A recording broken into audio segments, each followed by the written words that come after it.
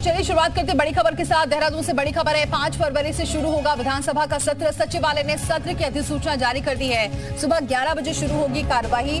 8 सितंबर 2023 को ये सत्र स्थगित हुआ था। और आपको बताएँ कि अब सत्र शुरू हो रहा है। पाँच फरवरी से विधानसभा का सत्र शुरू हो रहा है। सचिवालय ने सत्र की अधिसूचना भी जारी कर दी है। सुबह 11 बजे से ये सत्र शुरू होगा। कार्यवाही शुरू हो जाएगी।